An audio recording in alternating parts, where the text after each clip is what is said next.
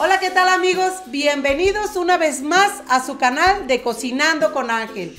Hoy les quiero compartir una receta riquísima, un guisado de alitas de pollo. Muy diferente a todas las recetas que tengo de alitas, pero créanme que estas también están deliciosas. Pero antes quiero mandar unos saluditos para mis amigas Viviana Blanco, Patricia Cruz Bárcena, para Juana Sánchez y Blanquita Urgel. Muchísimas gracias amigas por ese gran apoyo. Yo les pido a todos los que me faltan de mandarles su saludo, me tengan un poquito de paciencia, ya que son muchos y no alcanzo a sacarlos todos. Pero claro que con gusto yo les voy a mandar su saludo. Bueno, ahora sí, vamos con los ingredientes. Vamos a utilizar kilo y medio de alitas de pollo, 100 gramos de chorizo en trozos, una pizca de pimienta cayena, media cucharada de paprika, media taza de vino blanco, un poco de aceite de oliva, 4 dientes de ajo en laminitas, 2 cucharadas de perejil picado, 3 cucharadas de harina de trigo, 2 cucharadas de jugo de limón, media taza de caldo de pollo, pimienta negra, 2 pimientos, estos son del color de su preferencia, una cebolla en rodajas, un chile serrano, sal va a ser la necesaria y vamos a preparar. Lo primero que vamos a hacer es partir las alitas de pollo. Vamos a buscar el huesito de esta forma. Miren, este, este piquito en esta ocasión no lo vamos a utilizar, pero lo podemos guardar para agregárselo a alguna sopa y que nos tenga y que tenga el sabor al caldito de pollo. Bien, ahora esta, esta otra la vamos a partir por mitad. Igual vamos a buscar el huesito para que pueda partirse muy bien. Esto vamos a hacer con todas las alitas.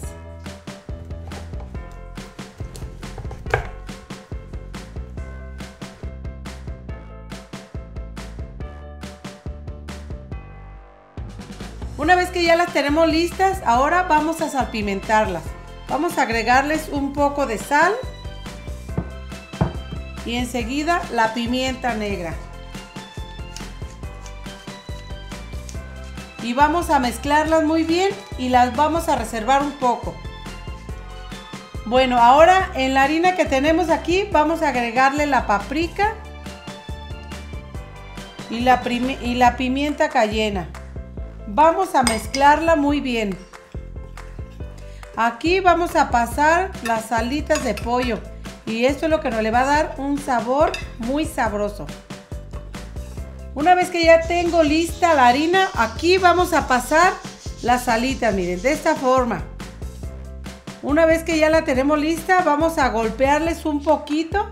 Eso es para quitarles el exceso que tengan de la harina.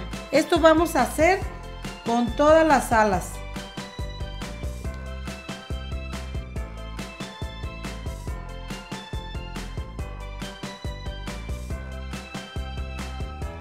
Ahora vamos a rebanar los pimientos. Para eso yo voy a partir por mitad y vamos a quitar la semilla y las venas. Y enseguida la vamos a, a cortar en tiritas.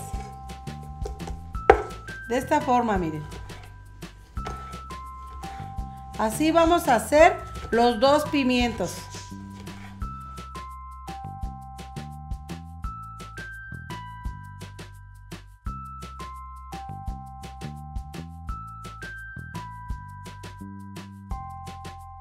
Ahora voy a rebanar también el chile serrano.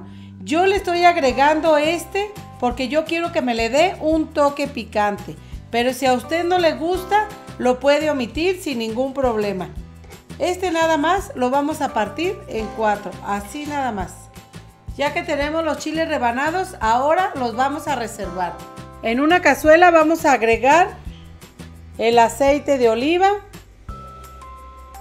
Aquí vamos a pasar las alitas. Queremos que nos queden doraditas por los dos lados. Yo lo voy a hacer en partes para asegurarme de que doren bien y no tenerlas todas amontonadas. Esto nos deben de quedar bien doraditas por los dos lados para que las, las alitas agarren el sabor de lo que le agregamos a la harina. Esto vamos a estar haciendo con todos los, los trocitos de las alitas.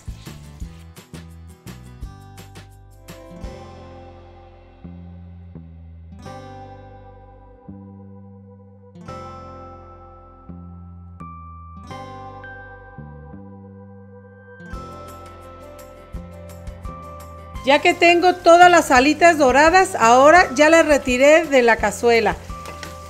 Yo le retiré un poco de aceite. Aquí mismo vamos a poner a dorar el chorizo, así en los trozos.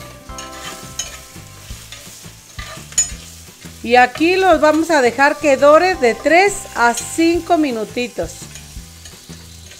Una vez que ya pasaron los 5 minutos y el chorizo ya está listo, lo vamos a retirar también. Sí, ya quedó bien sabroso este chorizo. Aquí en, esta, en este mismo aceite vamos a agregar los chiles, los chiles y la cebolla que tengo en rodajas.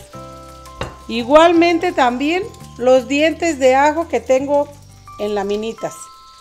Y vamos a dejarlo de unos de 4 a 5 minutos. Vamos a dejar que se frían muy bien.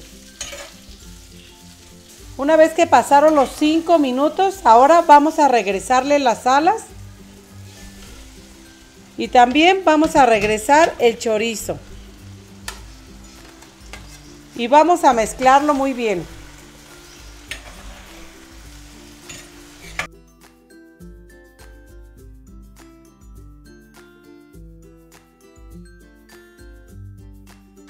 Ahora vamos a agregarle la taza de caldo de pollo.